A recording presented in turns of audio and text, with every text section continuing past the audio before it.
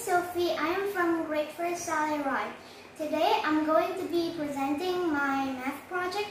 The title is Figure Me Out.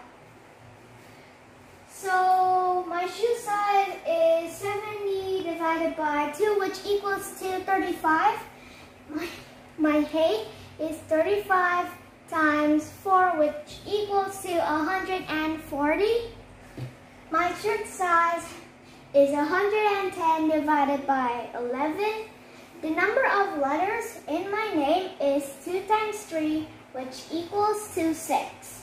The numbers of countries I have visited is 27 divided by 9, which equals to 3. The number of people in my family is 12 divided by 4, which equals to 3. My page size 200 divided by 20, which equals to 10.